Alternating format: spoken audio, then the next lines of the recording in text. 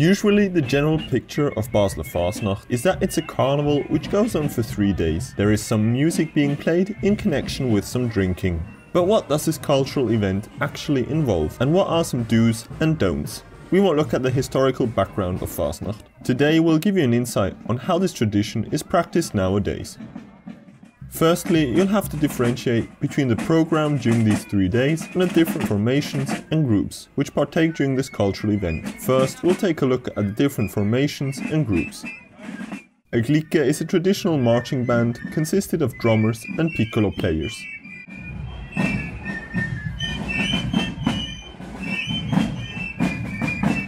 A Gugge in comparison to the Clique is a newer style of marching band, which involves more types of instruments. Trumpets, trombones, sousaphones and different percussion instruments, just to mention some examples.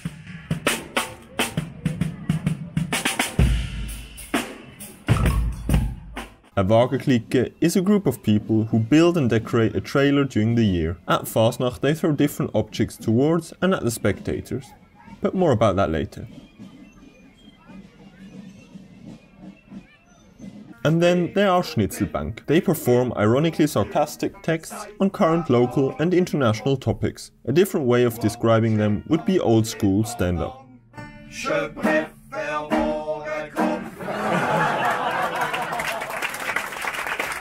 These are not all groups and formations involved, but they make out the larger part.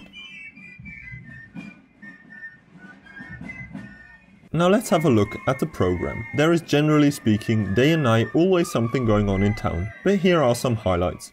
The carnival officially starts at Morgenstreich. At the stroke of 4am on Monday morning, all the lights in the city are switched off and about 200 Clique located all over Basel city centre start playing the same march together. The Clique parade in the darkness for a few hours. This is a magical event and worth getting up that early in the morning. During Monday and Wednesday afternoon, there is a big parade in town called Cortège.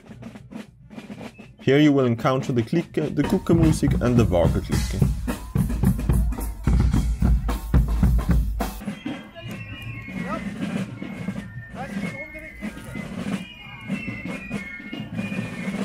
The Wagen Clique usually throw sweets and oranges towards people. The famous Rappli, better known outside of Basel as confetti, are thrown at people. But don't be scared, they only itch a bit, and to be covered in Rappli is part of Fasnacht. Fun fact, you will find half a year later or so a Rappli somewhere in your clothes or bag and have a flashback to the good times during Fasnacht.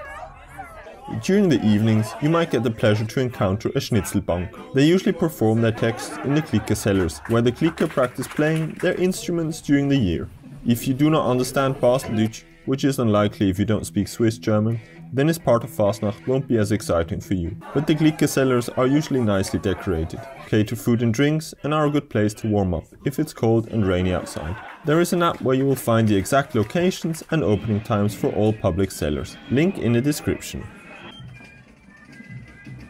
On the second day of Carnival, hundreds of children continued the tradition of taking part, individually or in groups, in a light-hearted parade.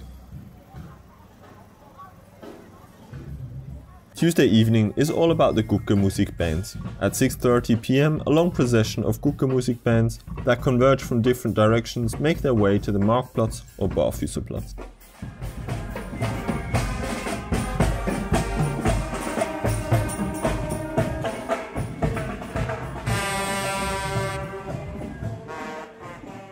In the evening, large stages are installed where the musicians present their songs to the carnival audience. Each clique carries a very large illuminated canvas lantern, decorated with paintings and rhymes that make fun of a particular sujet, which is a local event from the past year. The Laterne-Ausstellung is on the Münsterplatz from Monday evening to Wednesday morning for the public to admire the lanterns. There actually aren't any official rules on how to behave during Basler Fasnacht, but locals have some unofficial rules which will come to your benefit if they are familiar to you. Before the Morgenstreich, make sure you arrive early. By 4am there's quite a crowd. The crowd gets bigger the more you go into the city centre, so it's recommended staying on the outskirts of the old town. You won't see as many traditional marching bands as in the centre, but at least you'll be able to see them. The special element during Morgenstreich is darkness, so do not use flash photography or light any fireworks. Generally, visitors are advised to buy a Fasnachtsplakette, which is kind of a badge. Make sure your carnival badge is prominently displayed. It's a way of supporting the tradition, because the net proceeds from the sales all go to the participating groups to help cover their costs. The copper, silver and gold badges are sold by street vendors, costume participants as well as some newsstands. If you wear your badge, the chances of getting some sweets from the Wagenclique are higher and the risk of getting covered in Rappli is slightly lower. If you are a spectator, you usually don't dress up, unlike other carnival events, unless you're a child. Painted faces, false noses, jester caps, bawdy songs or extreme drunk behavior are all frowned upon. Musical instruments and other accessoires are personal property and valuable items, so they're not souvenirs to take home with you. Do not throw oranges or other objects back at the participants or into the crowds. And do not pick up Rappli from the street, that's a big no-no. But not to end on a serious note. Some locals say they only really live during those three days of the year. The most important thing about Fasnacht is to enjoy it, Try and understand the political and social statements of the different formations. Enjoy the food specialities and have a drink with friends. Enjoy the incomparable scenery within this beautiful city. The whole city is in a cultural state of emergency for 72 hours straight. Soak up the special atmosphere and the chances of coming back the following year are pretty high.